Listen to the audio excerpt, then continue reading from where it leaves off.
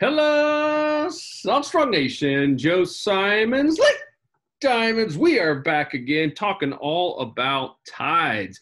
Got my bro Luke Simonds. Luke, when was the last time you got a haircut, my friend? Um, well, usually I would say by like weeks, but uh, but now I'm I'm really measuring in years, and uh, so it was back in back in 2019, Joe. Ooh, Still still holding strong. not bad, dude. So uh, June 2020. Let's see if you can make it all the way a full year. That's the um, yeah. See if I can go haircut free. I don't know. I'm sure I'll get tired after a little while, but uh, so far it's been good luck, man. I've been I've been having a good bite, and uh, it's just been getting better and better. So why why mess up a good thing? You know. Oh yeah, it looks like a combination of Jesus and uh, Duck Dynasty there. So, you know, good news is we get to rely on you to learn all about tides. So, long story short, tides are incredibly important. These tide stations and the tide charts that we all have seen and grown up with, they're incredibly accurate most of the time. And, and we're going to talk about when they're accurate. There are also some times when they're completely inaccurate. And we're going to talk about why that would happen, what variables cause that to happen. And then we're going to actually get on some maps, right, Luke, and, and show some like real life examples of, of how wind and rain and fronts and pressure systems can change these tide charts and exactly what you need to know to make sure that one, you're fishing at a time in your area where you've got good flow, because that's going to help increase the amount of strikes that you get. We all know that, you know, especially our favorite inshore saltwater fish, they love current. And we also want to make sure you don't ever get stuck uh, back anywhere, in a, if, whether it's a bay or back in a creek. Uh, there is nothing worse than being stuck there at many times uh, for an hour or many, many hours. So um, I'm going to talk all, all about that. And we also helped create this site called Smart Fishing Tides. We we saw a problem out there with some of just the the the tide websites and apps that were being used. Some of them had just so much stuff. It was like it, it didn't even mean anything. We wanted something that was simple. Plus, it was really built for inshore saltwater anglers that would show you guys exactly what's going on, what you need to know with both the tides, the wind, the wind direction, and uh, and of course that strike score, which is incredibly popular. That is is kind of a predictive analysis tool to show you when you should go out there and fish to maximize the times that you can catch an inshore slam. And it's it's eerily accurate. Um, we've uh, we've got so many testimonials of people that have. I think what is it? It's over a nine. It's it's basically on a scale from from one to ten, and if it's a nine something, nine point one to nine point eight, it will say actually call your boss and uh, call in sick and go fishing today? Yeah, and, and the reason uh, the reason first of all that tide tables are always accurate for the variables that they predict, which and, are which is the the moon and the sun, right? Okay. Because those are those there's those the moon and the sun have been traveling the same speed for a very long time, and they're not going to change anytime soon. And these tide projections are using that as a core factor. What they don't do what they don't measure are the the more real time stuff, like wind speed, wind direction, change of speed, um, change of pressure, and obviously because it can't, because that changes all the time. And so those are the variables that we we as fishermen need to know about and think about and know how how they impact the completely accurate tide graphs. Um, because unless the unless the wind is perfectly calm and the pressure is totally normal, you know those tide graphs are perfect. But that, that's rarely the case. So we need to know how that curve is going to change based on the conditions that we're facing so and and real quick too if you're wondering hey is this for me? This is not for beginners. I mean it, it obviously it applies to beginners as well but this is going to be some advanced stuff.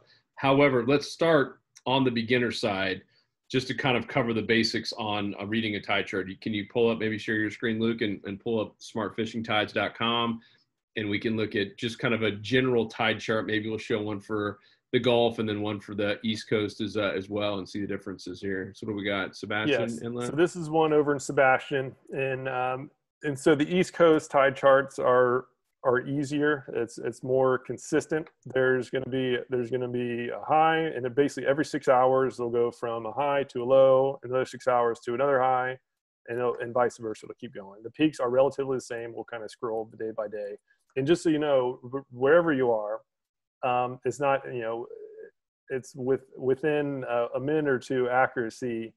If you see, if you get into a good bite, if there's like the the perfect tide, say at at at noon someday that you're fishing, um, the tide is going to be the same tide the next day, all else being equal, about 50 minutes later. So as we scroll day by day by day, the curve, right, those peaks are shifting about 50 minutes. Why 50? Because that's that's the speed of the the moon. It's, it's about the again, it's about the moon, the moon and the sun moving around the earth. So you don't have to know the details. Just know 50 minutes, day by day, and you're good. Gravitational pull, baby. Gravitational pull. Well, it's, it's, the it's the speed of the moon relative to the speed of the Earth going around, or the Earth going around the sun relative to the moon going around the Earth. All what about, for the, what about for the people that believe the Earth is flat? You're on your own. Do we have a tide? Do we have a tide chart for people that believe the Earth is still flat? I'm not, I don't think. Yeah, I don't. I don't think they will believe in tides either. I assume. um, so, um, so the the the core so these tide tables again as we said before are totally accurate uh, based on the moon and the sun those are the core variables those are the most impactful variables uh, but on some situations where the wind is crazy strong uh, or even the wind is moderately strong makes a difference and, and that's when we really need to um, to use our brains uh, to actually know how it's going to change and so so here's the atlantic we mentioned uh, the gulf being different so here is a Gulf. Let me just go get a different one. This this tide table is um, is a little bit odd looking. So I'll go one over go over Boca Grande. Um, and again, this is yeah, this is this is smart fishing tides. And uh, yeah, the cool thing is it has a strike score, so you can get uh, just a quick synopsis on the daily. You know, the the daily uh, projection. You know, this day is going to be better than than the other. And then further down, it gives the hourly projections. So again, a lot of people don't have all day to fish. Um, I wish I did. I don't either. And so I use this to know, okay, if I'm gonna, if I only have three hours to fish, um, this day in particular, based on the tides and the weather, like the unique thing about our system is that it incorporates the, the weather as well. Um, then I need to go, I know I need to go in the morning. So uh, day by day, let's look at a day by day chart. So this, this is Gulf. Again, remember the Atlantic was very symmetrical. There was a high, there was a low, they were six hours apart, and they were relatively, the, the highs were relatively the same and the lows were relatively the same. That's not the case on the Gulf. The Gulf hmm. is, has a little bit more complexity because it's the, uh, it's basically the, you know, the, the Atlantic Ocean is the major contributor, and then it has to wrap around the state of Florida, and it starts having all these weird things. But again, the tide tables are good as long as we only as long as the wind and the pressure aren't impacting things um, and so when they are we just know we just again just like the atlantic side we just need to know how to account for it when when making our, our plans um, so you can see you know this they just change a lot and uh, and again although it changes uh, still use the chart and then just know how to make the adjustments from the chart so maybe let's give an example, Luke. Um, let's start with when, because you got wind, you got pressure systems, you've got, I mean, even rain, right? Obviously, you know, uh, uh, a hurricane obviously changes a lot, but even just multiple days of a ton of rain, all of a sudden, places like, let's just say Boca Grande, you got the Peace River now pushing tons of water out in Charlotte Harbor, and that changes stuff. So, kind of give some examples maybe starting with uh, with the wind on on how this would change the tide. Yeah, wind wind is is the biggest factor that I've seen. Like rain kind of is, uh, but in like in a big bay, like rain isn't much of a factor unless it's like a hurricane sitting on t- on top of somewhere for a while. But but wind, so wind is the number one thing to think about. That is the biggest factor on getting away from the normal curve. Uh, because wind is is pushing a lot of every wave you see that is that is the wind actually pushing pushing the water, uh, you know, in, in whatever direction the wind is blowing. And so the thing to think about is, uh, we'll just look at the Gulf, for instance, is, you know, which way is the wind blowing? So if it's, if like we're in Tampa, basically if we get an east wind, uh, we just need to know automatically that the tides are going to be lower than normal, lower than the, the tide table. And ex- explain why for the people that don't don't see that, and because we had we have people who are also also uh, listening via the via the iTunes, Stitcher, etc. Yeah, absolutely. So again, the reason why is because that wind is actually pushing the water. It is pushing the water in whichever direction it's blowing. It's, it's you know, wind has friction on the water surface, and as that as that wind is blowing, that friction on the water surface is literally pushing the water. Obviously, if it's like a one or two mile an hour wind, it's not pushing very much. You don't really need to think about it. But if we're talking 15 miles or more, even 10 sometimes, but at least 15 and definitely 20 plus, it's a really big factor. And and just like a, an extreme factor. So uh, east wind, it'll be we just know we need to know automatically that it's going to be pushing water out. And so that's gonna that's gonna have uh, the the whatever the tide table was. Let's go back to the tide table. Um, let's say Thursday, the wind's current. Actually, this day it's only going by six or seven. So again, another cool thing about these tide tables, you can see the wind right there next to. Let's see if we can go find a windy day. Man, we have some good weather coming up. Yeah. Uh, the other, I, I, know we're talking about Tampa, but I saw uh, Sebastian had some some double digits. Yeah. So uh, in this case, uh, there's not any extreme wind. That's actually great. We've we've had a windy uh, a windy summer so far. Our time um, is due. Our time is due. Time is due. So again, just look at the wind. If it's like 15 plus, I mean, just know that it could be like a six inch difference on on the tides. I mean, it really depends on on where you are, but but it, it makes a big factor. And and there's no the trouble with it is that there's no like perfect way to know exactly how much it is because uh, every every area is different. Um, so that's like the only bad thing is that there's not a this isn't precision. It's just a general. And uh, and so I, when I have a wind that's like 15 uh, plus, I just automatically assume that the, the, the actual height of the water is going to be like six inches to a foot uh, less than what it normally would be. And then what about the timing of the of the tide chart? So we get we we know that if you're in Tampa, eh, it's pushing you know east is pushing everything out towards the Gulf, so you're going to have lower tides. How does that actually affect the tide chart? Meaning, if it said it was going to be high tide at noon on the dot, is is it now that impacted as well or or not? No, I mean, so that's the change. The change of wind is what will actually change a, a will impact a change of tide time. Um, like say the the tide the wind's just going 20 miles an hour for five days in a row. Um, that middle day is gonna the the actual change of the water from going low to high is gonna be pretty much normal. It's just the level is gonna be the, like the, the whole curve the whole curve is just pushed down, right? And but if you go from no wind at all to 20 mile an hour winds in one day, um, that's gonna it's gonna take a while for that all that wa- the wind to blow all the water out of Tampa Bay, for an example, is gonna take a while for that wind to blow all that out. So the outgoing tides are gonna be really strong, stronger than normal, because again that wind that wind is already pushing all this water out of the Gulf and now as this as this water's coming out of the bay it's it just has to go that much faster to keep up with the wind that's pushing it as well as the fact that the gulf is now a little bit lower than usual. Um, again not a huge amount but it's it's definitely enough to uh, to factor. So when uh, say the wind is going from calm to a strong east and we're fishing the the west coast of florida uh, we now know that the outgoing tide is going to be a stronger current and the incoming tide is going to be a weaker current. So because it's having that, a because it's having a fight against. Correct, because now wind. the gravitational pull is is trying to get the water in, but the wind is pushing it out.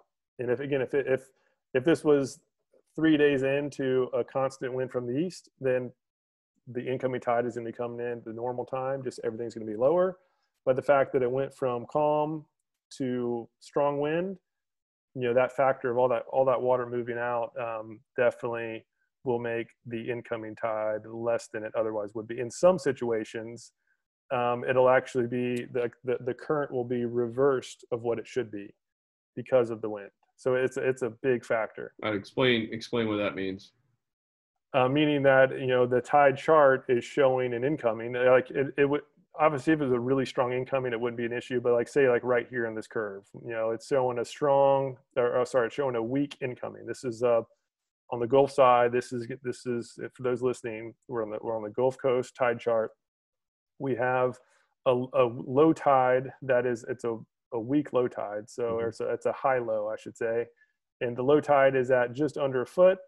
And then um, about five hours later, we have a high tide that is only like 0.2 feet above it. And if if early in the morning there was like no wind and it just started cranking up from the east, um, this little weak incoming tide might get totally overshadowed by the wind. Um, again, like I, I don't know, this is I don't know, this isn't precise, but it'll it, at a minimum it'll get it'll get totally weakened, if not potentially overshadowed. Um, So, get- it, get almost like so someone on the water could almost feel like there was just no incoming tide that day. Right. that- I mean, it would probably, if it did get overshadowed, it wouldn't be by much, but, uh, but correct. And, but, and as soon as this afternoon outgoing started coming on, assuming the wind was still going, then it's going to be, it's going to be moving. It's going to be really going out because of the wind factor. Um, and then obviously everything flip flops, you know, if, if it was coming out, if the wind is, is coming out of the west and then, and it's hitting the, Gulf Coast of Florida, then the, the, the tides on average will be elevated compared to normal. And if it's again, if it's if the wind is trending up, trending strong, then that's just going to be pushing more water in. So the incoming currents are going to be stronger than the outgoing currents. Uh, and so as far as predicting when the best time to fish will be, the incoming currents will have the advantage given that it's moving a lot more water, which is moving a lot more bait fish, which is going to get those uh, those predators fired up for uh, for eating some food. And and just to show an example on on how uh, on how impactful this is, and um, oh, we'll we'll pick the Indian River. I used to fish out of here for a while, this is where I started kind of learning uh, learning the ropes with just tides and everything. Because I, I just I never really paid attention to the tide tables. Like I was just oh man, like this tide chart was wrong. Like I just thought oh like you know I don't know why I don't know why the the water was so low in the winter time one day and then it was like normal the next i was oh yeah that one day just the tide chart was wrong the tide chart was right based on the wind and the moon or the sun, the sun and the moon but it didn't factor in the the you know the crazy wind and the high pressure that came in after a wintertime cold front like that's why the the our wintertime our gulf side the wintertime cold fronts again we have a high pressure and so the, you know the other factor is the pressure high pressure is pushing down on the water. It is literally moving the water down. Um, and so if you have high pressure plus wind that's going offshore, that's a double whammy on making the tides lower than usual. So on this Gulf Coast, we get the crazy winter winter low tides. That isn't because it's just winter time. It's because we have high pressure plus an offshore wind is just pulling all that water out, and uh, and that's that's the factor. Which happened during that that one hurricane right on Bayshore when it went uh well that was that wasn't wintertime but so so bay, the bay shore that was that was during the summer that was during the fall when Yeah. that, that was hurricane irma that came through and that was the wind like wind is the biggest factor so hurricanes are, wind wind and pressure and it was low tide to begin with too. Well but but hurricanes are different because uh, hurricanes are low pressure systems so the, the act the pressure uh, factor actually was was pulling the water up all else keep held equal Yeah. but the wind it was like 50 plus mile an hour wind and or at least 30 for an elevated time because there were a lot of people i saw some videos of people on bayshore uh, right here and the wind was moving offshore and it was so strong that it blew all the water out like literally this was this was this was uh totally barren sand and I, I lived i lived here for for four years never once did i see this stuff dry like not even close Yeah. and I fished this shoreline a lot. Like there's a there's a pretty good amount of water usually on this on this section. It was bone dry, and again, the tide chart didn't show that it was going to be dry. It was it wasn't a factor of the it wasn't some crazy anomaly with the you know the the moon and the sun orientation relative to the earth. It was hey this it was flat windy and the wind was blowing. It was just pushing all that water out. So it, it can be a, obviously a hurricane is that's an oddity. The wind is usually not that strong for a consistent period of time, but it just it's just an example of the uh, of the the impact of it. And just like Lake Okeechobee, right? Let's just talk about somewhere that doesn't even have any tidal impact. Lake Okeechobee has that huge that huge mound all around it because hurricanes come through. It, that friction on the water surface is pushing all that water in that massive lake all to one side, and it literally can flood Mhm. um, if- without that without that. Uh, All that right, go, go back. Sorry, I interrupted him with hurricane talk. Go, uh, go back. I think you were talking about Indian River and the power of.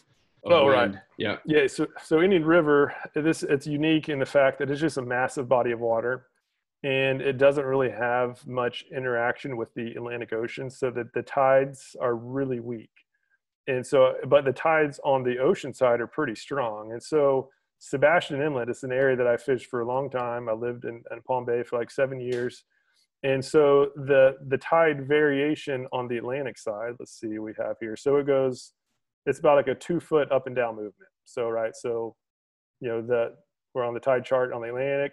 The the lows are right at zero, plus or minus, and the highs are a little bit above two. So we're talking you know over two two feet of variation. And now let me show you just if we go barely uh, barely inside, we're going to load all the nearby points. And there is there, here's Sebastian Inlet. We're just going to go just to the town of Sebastian. So we're just going we're just going just across the uh, the the river, and now we have a zero to a point three, right? So what it did go from zero to two two feet, and now it's going from zero to point three. So we went from a two foot swing to a point three foot swing, and that's because there's just not much um, not much interaction with the Atlantic Ocean in this massive river. And that's why it's so critical to actually pick the tide station closest to you. Because a lot of, I mean, the one is Sebastian Inlet, and one's the city of Sebastian. There's a lot of people that would just grab one real quick, saying they can't be that that different. Uh, that's nuts. Yeah, so look at the difference. So we're we're 2.7 miles away, and the tides could not be any more different. And and the reason why is because this you know this Atlantic Ocean is moving up and down two feet, two feet pretty much every day, every six hours, up and down two feet, up and down two feet. Um, but this huge body of water in here, the Indian River, the the only interaction it has with the ocean for like 20 miles north and another 20 miles south is this one little inlet. So there's no way that enough water can go through this little tiny cut to make the river go up by two feet. Um, if if this all if this whole body of land was gone, it would right here along the shoreline would go up by two feet. But the fact that we don't have that, it's like an hourglass, right? You know, those little hourglass things. You flip it over, and it has the two big, big, bigger bodies of sand in that one little funnel that it has to go through, and it takes a while, right? If that funnel wasn't there, you'd flip it over, and it all just sand would just fall down immediately. Um, but it has that little funnel, so everything's delayed, and so the delay, the tidal delay from the ocean or the Gulf inland is all based on how much constriction there is. So I learned this the hard way. I was out waiting right here. This is when I learned the delay on on tides. I was uh, I was waiting out here, and I had to cross one of these. I went. I think I crossed over to this island right here, and there's this little cut. Yeah, Joe, we, we fished this a long time ago. Remember Oh, that? yeah. We used to camp Yep. out there. And uh, and so the current was going out when I started fishing, and so I was confident. You know, it was, it was in the wintertime, and I didn't. I don't. I don't really. I don't wear this waders. I just wear boots. And it was like a little about. It was like knee deep. So I was. I was like perfect knee deep. The water flow's going out. I'm good. Right. Like the water's the water's going out. So that means the level is going down. Um, what I didn't factor in is the the craziness of of this unique situation where we have all the movement on the ocean and very little movement over here. And so even though the current flow was going out, the actual level was coming up. So when I had to cross back in this cold water, it wasn't it was no longer knee deep. It was like it was like waist deep. And uh, so now I'm I was cold and now I'm soaking wet the rest of the day on uh, trying to drive back. Got my so long story short, it's uh, it's very important to understand how the tidal uh, situations uh, just interact because in some in some cases the actual current flow doesn't correspond with the height when you're dealing with unique uh, unique you know areas like this like the Sebastian Sebastian River or Sebastian Inlet. Uh, but but back to the wind. So so as we saw, there's like a 0.3 tidal movement based on the sun and the moon, right? 0.3 up and down. and that's that's accurate. It's I mean you can predict that for years out, right? I mean Yeah. we we know what tides are going to be. Yeah, but I, when I used to fish this, you know, I would be out. I used to fish all this area, and this is just south of of the inlet, and, and just and north of there is just a large body of water. It's probably a couple miles wide, and it goes, you know, this is like twenty plus miles uh, north. And on a, I would, I would be out some days, and and it would be so much deeper than the day before. And I was just, I'll be fishing down here. And I was like, what is going on? Like, uh, it must be like a crazy high tide. Like, what's going on? But it wasn't a tide factor at all. It was, it was just the wind. And it, we, what happened is there was a north wind, right? Was a pretty strong north wind. And if you look on this map, right, that north wind is is having friction surface on this water, and it's pushing all this water all the way down, and it's building up right here at this funnel point. So all this water is being pushed down, and right here it's getting built up.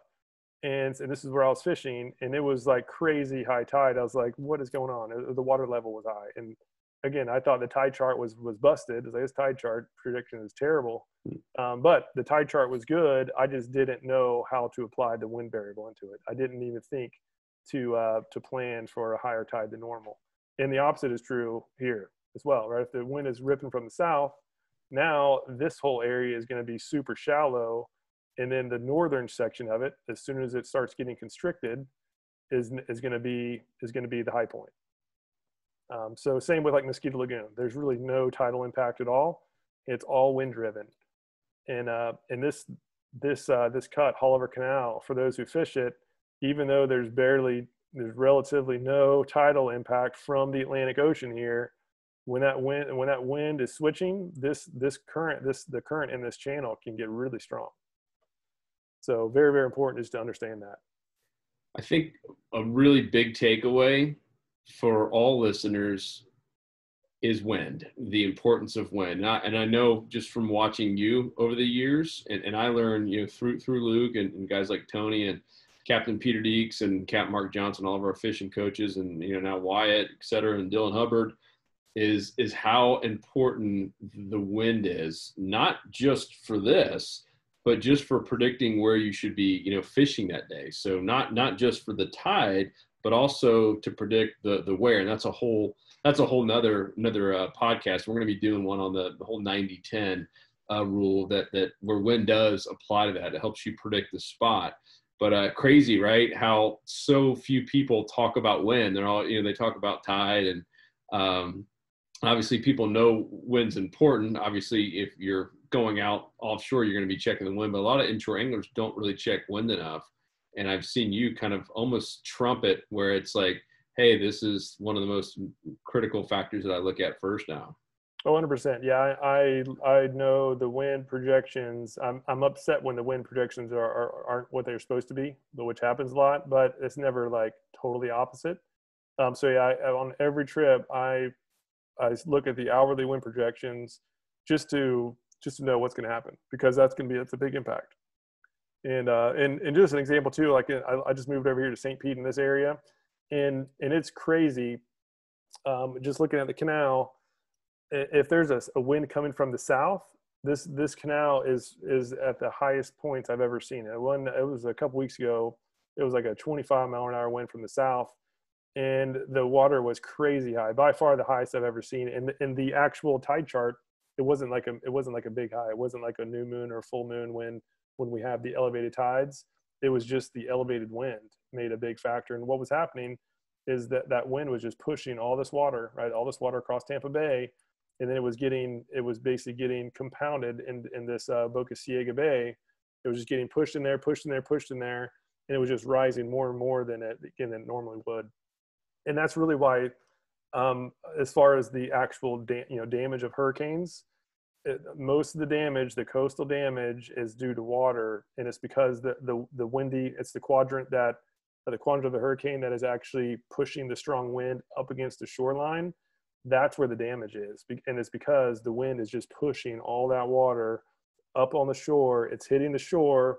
It's compounding. It's getting it's basically building building building and it will eventually start causing damage when there's enough of it obviously like a 20 mile an hour wind won't do that but when you're talking 40 plus for a extended period uh, you know um, for a long period of time it's uh it's it's dangerous. And as far as just the I'd say the takeaways too, um, just to know that the if you want to know the, the terms, I'd have those up here. So the the spring tide or the, the the best tides to fish that are called spring tides, and that is when the Earth and the Moon are are in linear direction. They could be on either side of the Earth, um, which is going to be the the full moon, and then it could be on the same side of the Earth, which is the new moon. Those are going to be the strongest tides because the gravitational pull of the Earth and the moon are are hitting the same hitting the earth from the same direction and that's that's the best time in general that's going to be the best time to fish because there's going to be elevated currents which is going to move more bait fish which is going to get the predators fired up the other tide term to know is the neap tide. And that is that is the time where the earth and the moon are at a 90 degree angle relative to the earth. So basically, the the two, you know, the, the Earth and the Moon, or sorry, the Sun and the Moon are basically like offsetting their um, their power, if you will, their gravitational force. So that's when there's going to be the weakest tides uh, of the month, and that's generally going to be the time where the fishing isn't quite as good as the other periods. But again, just like everything, there's always going to be some fish that's uh, that's willing to eat. So if you if you have time to go fish, still fish, but just know um, know that those are the the two core best times to fish, all else being equal. But even then, even on the neap tides, still still worth getting out there and and giving it a whirl.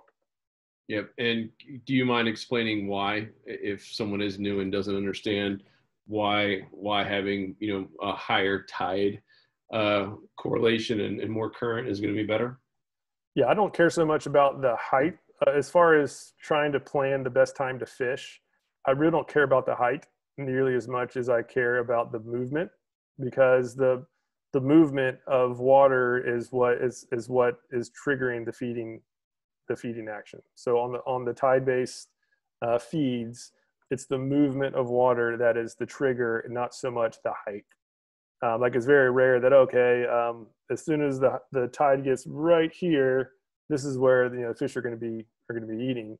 No, it's it's when is the when is the current maximized for most areas because again that, that's just moving bait fish, um, and and as the current is moving bait fish, a lot of time it'll disorient them. Like those like small little bait fish will sometimes get get disoriented, or these predators will just sit down in a pothole on a, like on a grass flat.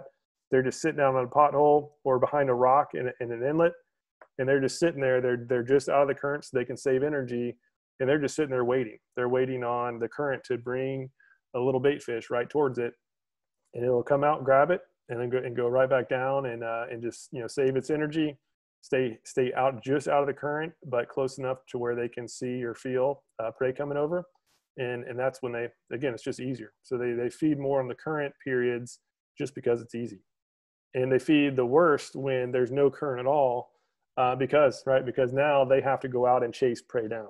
Like now it's not being brought to them; they have to chase it, and why would they do that if they know if if they know that oh I'll just wait another another couple hours and the, the current's going to be moving fast like they're just going to save their time save their energy and just sit and relax and then um, and then get ready to pounce uh, once that current's moving. And we've seen that too like fishing there's dock lights joe at uh, little gasparilla um, go out there at night and if we would, wouldn't plan it properly we go out there on the slack tide there's no current movement and like it's almost impossible to catch them because those snook are they're just not feeding. But soon as that wait an hour or two and that water starts moving and they're fired up. It's not that they weren't there during the during the slack tide they're still there but they're just they're just not feeding and so they're going to be much less likely to uh to be to be striking lures or, or even bait fish for that matter. Yeah that, that moving water is like the dinner bell ringing baby. And all of a sudden you, you see a couple of those little shrimp are getting pulled either in or out and you see little crabs are getting pulled in and out and bait fish and it's just like it's it's crazy. It's just all of a sudden it turns on uh, like a light switch. Pretty wild. So the big i don't know if it's a million or billion dollar question everyone always asks well hey should i fish incoming or outgoing you know, there used to be you know some old sayings that oh yeah you only for inshore fishing you only want to fish incoming if that's all you could fish uh, I, I don't know that that's necessarily true what are your thoughts so yeah, I, I think that's the word. I think it's it's a big mistake that many people have is to focus on one tide because, and I can say that from experience because I did that for many years. I would only fish the incoming tide and the top end of the incoming tide because all I knew to do was to go get catch live bait, catch white bait, and then go pitch it under mangroves. And and that's when it's best to do that type of fishing in, in many cases assuming because right at low tide there's not enough water under most of those mangroves to even to even fish and and what i've realized uh, once i finally um, finally just made myself start fishing whenever i could. And instead of just targeting that one specific tide is that now some of my best fishing is actually on like the outgoing tide or even low tide situations. And it's almost like fishing a barrel. Right at, at the lower tides those fish have less places to hide. And so like now my least my least favorite time to fish is like those really big high tides because those fish can just be in so much so much more area and they're harder to find. Um, in many cases like fishing mangroves I, and now i do almost all artificial. So when they get way up in the mangroves it's just really hard to get to them if you if you have live bait you can chum them out. That's what a lot of people do. That's what i used to do. Uh, but now i like to get out there before the high and, I, and fish the trees as they're just starting to get up into the trees or as the water's going down as they're starting to push out of them. Um, so I would say it's a big mistake to focus on one tide versus the other. Um, the the best advice I could give is to just focus on current. And an easy way, the, the bad thing about current is that tide charts don't really show current. It's just the tide height. And the good news though is that there's an easy way to derive the current flow based on a tide chart like this and, and it's the slope of the line, right? Because just seeing this graph, uh, for those looking, uh, for those listening, I'll explain it. So we have, you know, uh, this is the Gulf Coast of Florida. So we have in the morning at 7 a.m., we have a, a 1.2 foot tide. And then about four hours later, or yeah, about five hours later, we it goes down by like 0.2 feet. And another five hours later, it goes up by like 0.3. And then overnight, it drops down considerably and it's the slope of the line that we need to focus on. So I highly recommend when you are looking at tides, don't look at the number-based tide graphs where it just shows a bunch of numbers. It's just, for me, that's I'm a I'm a visual learner, so I like to just look at these tide charts at the graphs, the line graphs where it goes up and down, up and down, and the slope of the line, the steepest part of the slope is when the most current is going to be happening. Again, assuming that there's no crazy wind variable or anything like that. So looking at this at 4 a.m. is going to be the strongest current of the day, and I can I can know that in three seconds just looking at this graph because it's easy to see, right? Just look at the slope of the line. The steeper the slope, the more current you have. The flatter the slope, the less current you have. So in the middle of the day, we have a, a, a really a, a, low that is that is actually kind of high. It's a it's a, a high low, if you will right in the middle of the day. And so there's just hardly any water movement. So the middle of the day is really not going to be the best time to fish. Um, if I could, on this day in particular, I would get out there early and take advantage of this the strong tide, the strong current, which happens to be incoming. But if I would like it just as good if it was flip flop, I would take advantage of that that strong that strong tide and uh, and knowing that the middle of the day is going to be weak. Yeah, you could and you could be back by and look at that the chart below it. It says that. Yeah, five, so five, six, seven, eight. You could be back at home, boat or kayak, all cleaned off by eight in the morning. Have your coffee, and uh, you've already caught two inshore slams. Boom, bam, yeah, sham. So, yeah, the ultimate shortcut is just to use smart fishing tides because you know we have we have the predictive analysis down here, which takes you know it takes the tides table stuff along with the the the other variables like wind speed, wind direction, um, pressure changes. It takes all of it into account, and it'll spit out uh, an actual curve to show you when the best you know based on based on the data the best times the fish will be. And it's and it's and it's been it's been really, we've been doing this for almost about a year now i guess. Uh, but it's it's good. I mean it is it is again it's taking the details and putting it in just a nice easy to read format where you can just look at it and know automatically what to do yep and so that's the that shows you the time. The other thing that we solve for is where to fish right? And that's really the most critical thing because you could be there at the right time and if you're in a dead zone you ain't going to catch diddly squat. And uh, that's why we created that insider club. It was is everything luke and i wish was around, you know, back when when we were struggling and super inconsistent and, and quite frustrated and focused on all the wrong things, like just you know all the shiny object things that are out there that don't necessarily help you catch more fish unless you're at the right spot at the right time, and that's that's the whole focus. So we do little calls or little you know um, webinars like this every single week. Uh, we're actually getting on satellite maps every single week and showing all of our members. We're now over 14,000 members from Texas to Florida, where it started, up to really Virginia, even New Jersey area, and uh, showing you guys where to go out there and catch inshore slams and uh, doing some nearshore stuff as well. We just got back from the Keys here recently and did a little offshore stuff. So you know, always doing a little bit more, but the primary focus is is the inshore slams, the redfish and speckled trout and snook and, and flounder and, and black drum and uh, and, and sheepshead, and obviously, you know, depending on the season, Spanish mackerel. So hope you guys will join us, and that's all at saltstrong.com. And the kind of the the big news that we uh, we've been doing here in the last couple of months, which is two reasons why the whole club exploded. Uh, we were we were celebrating 10,000 members, right, Luke, at the at the beginning of the year. Last time we got a haircut, and now we're at 14,000. I mean, just it took us five years to get from zero to 10,000, and, and now you know in five months, six months, we go from 10 to 14. And it was one, we started offering tackle and, and not just tackle 20% off pretty much all of the best stuff out there. And another thing that separates us from everyone else is we don't have sponsors. And so we personally spend our own money and, and buy pretty much every reel that's ever been made, all the best, most popular rods, lines, from braid to mono to fluoro. We test the stuff out and we tell our members, here's what's the best value. And uh, so we don't want to be a Bass Pro that just provide. I think that that's one of the biggest disservices to fishermen is just having this unlimited supply of crap they can buy. I mean, wouldn't you rather go into a store that had the best stuff that was truly the best value, and you had coaches there that had actually tried it out and can stand by it and show video proof, like, hey, this is why this is the best value, and that's what we do. And you get 20%. All of our members get 20% off uh, everything. So let's just say it was a Daiwa reel, which we're big, r- real big fans of because we've tested, you know, Daiwa and Shimano and Penn, all the other big ones out there. 20% off uh, all of your uh, your gear. So that's been big. And number two, now that e-learning is cool, you know, my kids, uh, you know, they're now doing e-learning with their their teachers, and that's essentially what we're doing is just teaching people how to fish online. And you'd be shocked, I mean, blown away on on how much improvement you can see in a short amount of time from learning this stuff online. I mean, right now, if you guys made it this far in this video, I'm guessing you probably learned something. And this is just one little video. We have, I don't know, six or 700, might be over a thousand now.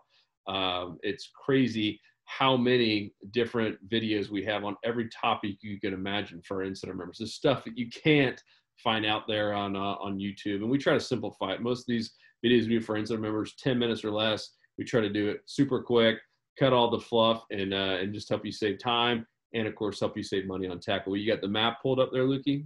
Yeah, and I just wanted to show the the you know if you're an inshore angler, a ton of spots. Yeah, if you're an those are all fishing reports, and, and, you like catching redfish, sea trout, flounder, snook, you know, throughout the year, and then the migrational like tarpon, uh, triple tail cobia. This is the place. There's there's no better resource for you in both the the the breadth of education and and the depth as well as the community. So this this uh, this map that you're looking at, this is the community. This is the geographical pins of all the community reports. So now we have over 13,000 members, and many of which are posting their own reports. And what is since we were talking about Tampa, we'll just zoom in. And there is an absolute ridiculous amount of posts. So every one of those pins is an actual like real time fishing report from either ourselves or or members showing you know where they were, what they caught, what lures and or bait they were using. I mean, it's uh that's wild, dude. Tampa is packed. So what, yeah, what so, filter do you just use? And so this is just the month of June, and so we can we can now say okay. Now that we have there's so many pins, it's hard to it's, it's impossible to look at all of them. So now it's okay. Let's let me just see what members have done in June, and these different reports um, not only show you know what fish were caught and what lures were used, but more importantly, many of them show details like like the tips and tactics like hey i was fishing the the the you know the on the edge of the grass flats in three to five feet of water with the with the jig, or it was it hey incoming tide was it and the the fish were up under the mangroves or under the docks, you know whatever the case was. So just a wealth of knowledge, and we're building some more uh, some more filters and more analysis tables on this. But uh, but more importantly, again, it's just about uh, just a massive community of of like like-minded anglers who are who are just you know willing and, and eager to, uh, to to share share tips. Cool. Yeah, and I hope uh, if you are a member, I know a lot of our members listen to the podcast. Thank you guys. You are you are our family. You're the foundation of the the whole company, and we can't do it without you. So we really appreciate you.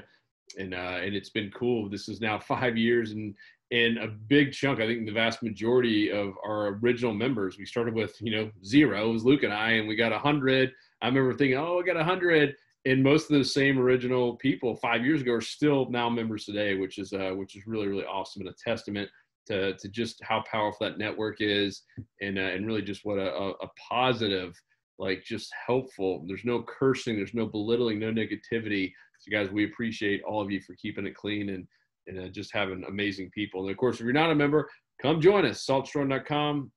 It is the only fishing club that gives you 20% off all the best stuff out there plus shows you where to fish every week, plus gives you this online community to ask anything that you want. There's never a dumb question. And, uh, and, and just truly people that want to help you out and help you save time and, uh, and, and money. And uh, man, just that, that network and the community, it's, uh, it, it is so powerful. I mean, we learn stuff, right? We, we've, we've been able to go catch more fish just based on uh, what someone has, has shared with us and even learning little new techniques. I mean, like with Marcos, learning a new way to catch 40 inch snook on a fake shrimp. Who would have thought?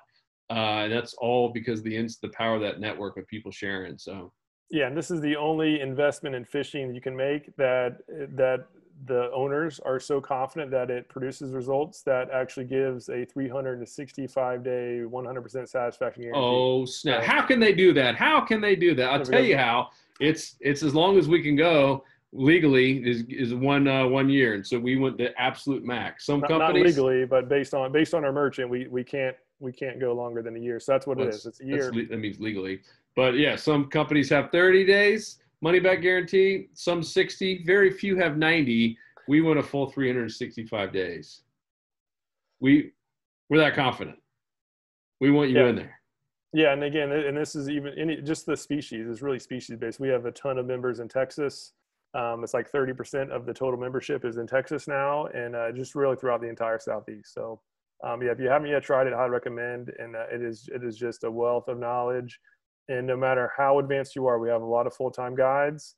Um, it is impossible not to learn as long as you just spend a little bit of time looking through the community posts it's impossible not to learn some game changing tips on uh, because again we have 13,000 members posting their, their own helpful analysis and, and tips and tactics and it has been it has been mind blowing just how much like me for me personally just how much my game has improved simply by just just looking through that community every once in a while and uh, and just picking out some uh, some cool things and trying them because in many cases some some unique stuff that these Texas members are doing are working really well over here, and a lot of the things that that you know our, us Florida members have been posting, the Texas members are, are showing that it's working great great over there as well. So, um, you know, no better way to grow than to just increase your network.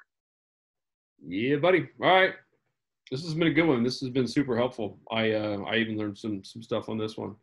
Yep. So tide tables are always good for the the main factors, but that what they won't, what they are 100% will not account for is the wind and the pressure, and that's when it's on us to uh, just to know that it's going to be it's going to be higher or lower or later or earlier, um, and it's it's uh, it's it's an art, half science, half art. So just be just be mindful of those of those you know of those impacts to the tide table. And so for whatever area you're fishing based on you know the funnels if you will um, you know the the results will will impact a little bit. But just just be mindful of it. And over time you'll see that you're going to get more and more accurate on knowing how how much and how far the deviations from that that tide chart will actually be on the water. Pay attention to that wind direction and speed critical and pick the tide because I've done that before. You're in a hurry and you just pick one that looks close by, and all of a sudden you're like, man, that was an hour off. Uh, that's uh, it's it's pretty critical. Um, cool, that was awesome. Thank you guys again. If you're listening via iTunes or Stitcher or uh, Spotify and you want to go see some of the, the video footage, we'll have all that. It's saltstrong.com forward slash, that's that slash podcast. So saltstrong.com forward slash podcast. You can also join the club there as well and start your 365 day, 100% money back guarantee trial if you're not uh, 100% thrilled. We want everyone walking away saying, man, that was the best investment I ever made in myself when it comes to fishing. So hope to see you in the club for you current members. We really appreciate you. Hit us up. We're here to serve you and help you. If we can do anything, let us know. Otherwise, we will talk to you on the next podcast. See ya. Peace.